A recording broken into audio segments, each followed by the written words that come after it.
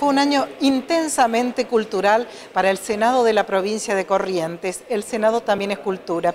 Una propuesta del vicegobernador doctor Gustavo Canteros.